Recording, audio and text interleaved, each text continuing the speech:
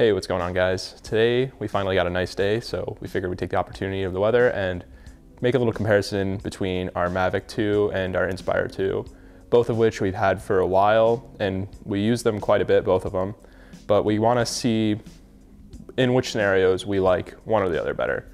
So we're gonna start off by just charging them and getting them set up and we figured it'd be a good idea to start from here because a lot of the differences start to come through even at this point when you're just getting them set up. So we're gonna get them charged and then we're gonna go out and do a test flight and kind of give you the overall comparison between using the two different cameras. All right, so we got our Mavic 2 Pro in this nice little case. And of course, our favorite to bring out, the Inspire 2. So you can see already, like I said, a lot of the differences are gonna show right off the bat just from us having to set them up and getting them charged. We're gonna see, kind of compare how much time they both take to charge. I have a feeling the Mavic's gonna charge quite a bit faster because it's a smaller battery. So there's our Mavic 2. We also have the uh, smart controller with it, which has made our lives much easier. This battery you can see is pretty much dead. We fly all of our batteries down to less than 25% when we, uh, when we do fly, just to keep the battery cycling through charge. So we will charge both the remote and the battery for the Mavic. I'm gonna start charging both the Inspire and the Mavic at the same time, just so we can get a fair comparison, see how long they take to charge. So, let's see here. You can also see this charger is nice and compact, easy to bring with you. You don't really need that whole entire Pelican case. We just bought it with it to protect the drone. And now let's see how the Inspire charges. We should probably have a hard case for the Inspire, seeing that it's such an expensive drone, but this is the case it comes with. And we have two sets of batteries for this. These are the battery insulators that are supposed to help in cold weather. This one got destroyed. Um, but yeah, those help immensely when you're flying in the cold.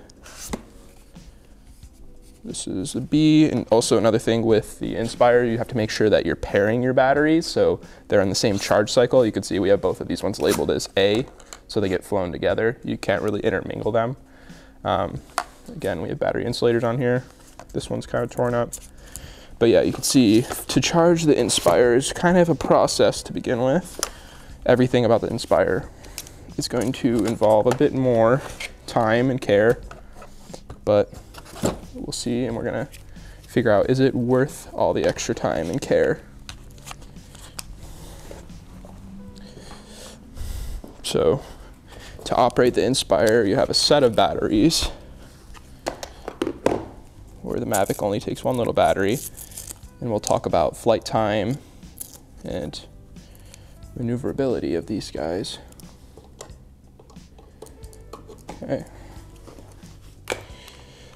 Also the Inspire, when it's fully charged, will start to whine. It has a little chime on it, where the Mavic does not. You can hear it already starting to make noises.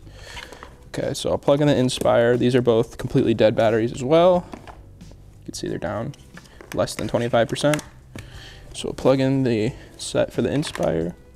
Those guys are charging. You tell by the fact that these are blinking. And then we'll plug in the Mavic. I'm not going to compare charge times on the remotes because I don't think that matters as much. But so let's see which one can fully charge first and that will be our first test. So I'm not going to compare the charge times of the two remotes, but I will point out that the remote for the Mavic 2 Pro charges via USB-C, which is very handy because it's a much smaller charger, easier to bring with you, where the Inspire charges off the same charger as the batteries. So it's not as convenient, it's a larger controller, and another thing is we fly the Inspire with the iPad, which we don't have here, so we're gonna have to go get. And that's routinely been a problem is having an iPad to use to fly the Inspire where the screen for the Mavic is built right in. The other reason why that's a big deal is because I was taught you're not supposed to charge the remote at the same time as the batteries on the Inspire charger because I used to have the Phantom 3 and that was always the case. Where the Mavic, because it charges on USB-C, the remote controller, you can charge it while your battery's charging and you'll be ready to fly faster. Now that's charging while our battery's charging. All right, so if you heard that, that's the Inspire whining, which means that it's fully charged and the Mavic is also fully charged. They took about the same amount of time. Uh, we had a little camera recording it, so we'll have to see how long that took, and Ricky should be able to put it on screen. So I, I want to say it was about 30 minutes, but it was definitely equal amount of time to charge both of them with, within a couple of minutes. So no real difference there besides the fact that you're getting two batteries charged with the Inspire. So alrighty, so we got everything all charged up and everything all packed up. Um, we're good to go. We have to bring this extra backpack to carry the iPad in, which usually it's not that big of a deal. Usually we bring like an extra camera with us too, but because Rick's filming with that camera, it's kind of just an empty backpack. Got the Inspire case, and the Mavic case. We're good to go. So some of the main things we're going to be looking at between these two drones are obviously the first, probably the most important one is price. Seeing that the Inspire is literally three times the price of the Mavic, even though we got the Mavic with the smart remote and a hard case. We're also going to be looking at the uh, flight performance, so how well they handle in various scenarios. That's why today is a perfect day to show off the Inspire. It should be very stable, easy to fly in this sort of weather. Um, so if you have a you know a paid job where you absolutely have to get the shot that day, the Inspire is usually our go-to. I would say we fly the Mavic on 70 percent of jobs, 30% of the flights are done with the the Inspire, which I know sounds like a crazy ratio, seeing that the Inspire cost so much and it was a big investment.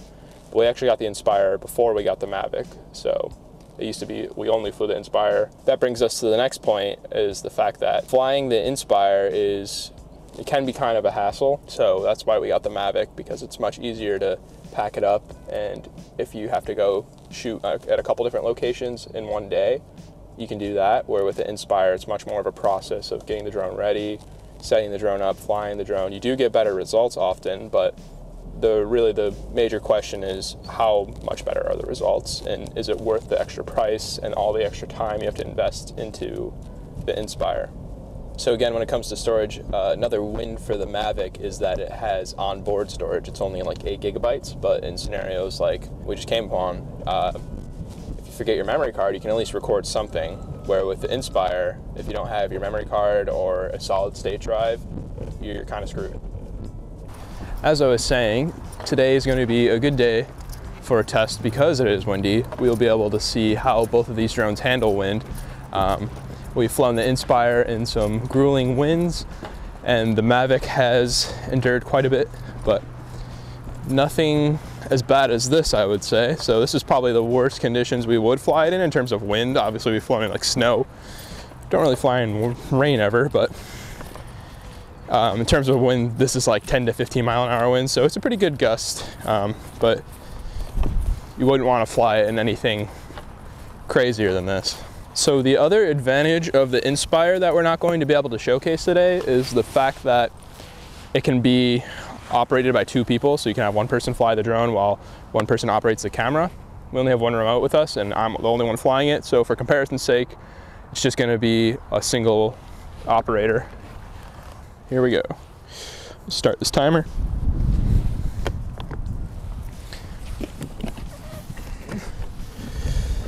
The major advantage of having the Inspire is not just the fact that it can fly in harsher conditions, but also it has a much larger sensor.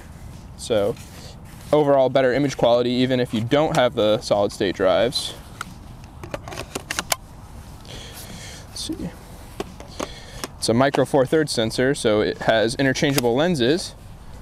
You can also Put the landing gear up and down so the camera can be rotated 360 degrees.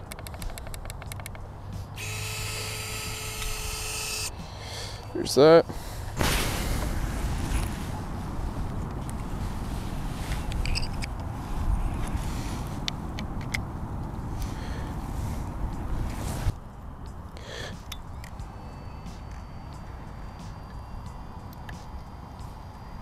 The nice thing about the Inspire is it sits a lot higher up because it has actual landing gear, so you don't really have to worry about it messing up the gimbal, hitting the ground, which is nice.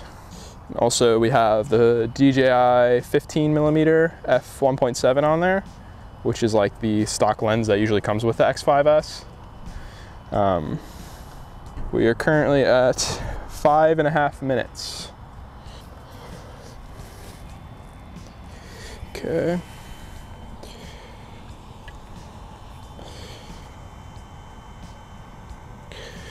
All right, let's see if that does it. Almost exactly six minutes.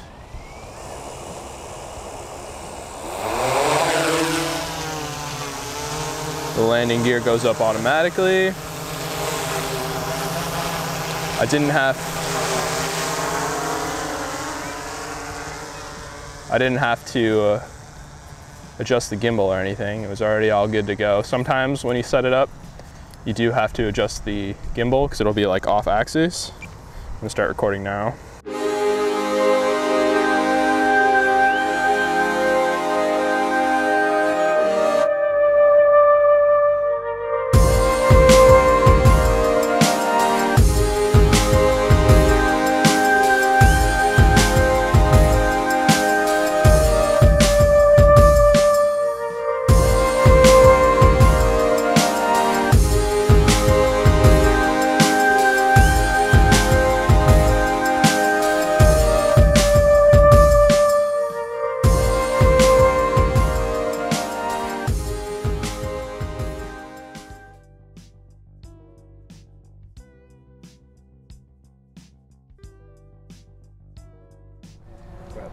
So we've been flying for like 11 minutes, probably closer to 12 minutes now.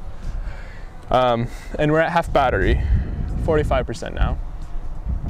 So that's a pretty good flight time considering how windy it is. So we've been flying for about 15 minutes now. And yep, on cue, we're at 25% battery. So we're gonna land it um, and we'll do the same for the Mavic.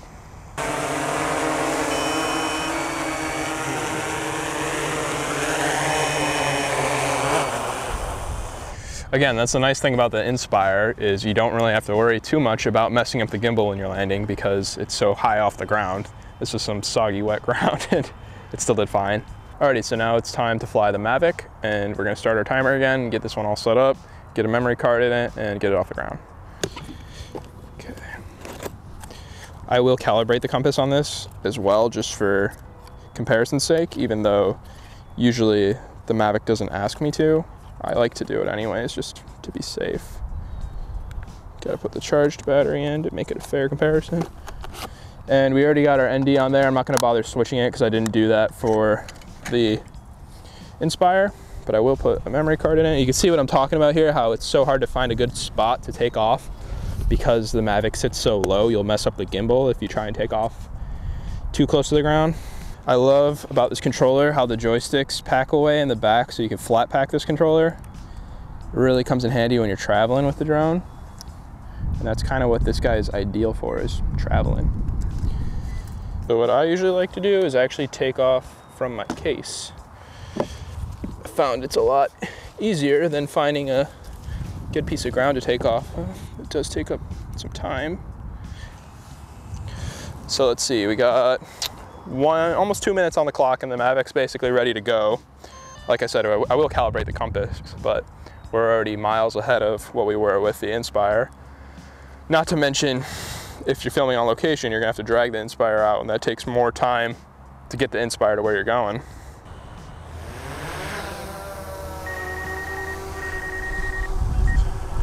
Yep, so that was under three minutes. We uh, basically got the Mavic off the ground opposed to the six minutes it took us to fly the Inspire. And it looks like the Mavic's actually doing pretty good in the wind. This is, the wind's, really starting to pick up, but it is a lot lighter, so it gets pushed around a little bit more. It's not as powerful, obviously.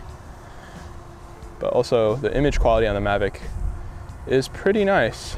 Um, I'm gonna shoot a little bit in the 10-bit mode, but to be fair, I will shoot in the 8-bit mode because that's how you get the full field, full field of view on the Mavic. It does a lot, of, pretty significant crop when you shoot in 10-bit.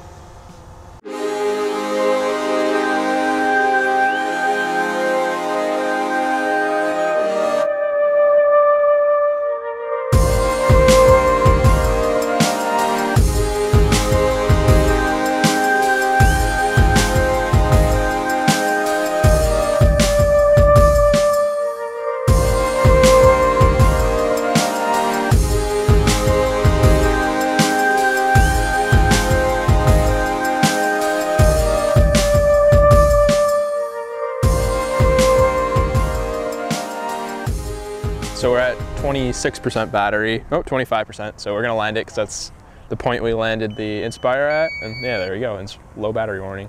And we are at 19 minutes of flight time. Um, again, as I mentioned, it's harder to land the Mavic because it's soggy ground and it's kind of rough. So I'm gonna go land it over there where it's flat. Nice. So yeah, surprisingly, a little bit better flight time on the Mavic, even with the wind. As long as the footage was still stable, I would say the Mavic did better today. But obviously there's many differences between the two drones. That's what we've been talking about. All right, so I hope you guys enjoyed watching this video. There were quite a few things we kind of threw at you, but I guess the general idea is that we were comparing these two drones, but I don't think anybody would really be comparing them to figure out which one they would buy because they're two very different drones, but we're more so just putting all the information out there and letting you guys decide which one you think's better um, after using both of them for quite a while now. Um, we've had the Mavic 2 for two years almost, say a year and a half. And we actually had the Inspire 2 before we got the Mavic 2 Pro. So I think that's something that would have really impacted um, our decision whether or not we would have bought the Inspire 2 at all. Um, because when we bought the Inspire 2, the Mavic 2 Pro wasn't even out.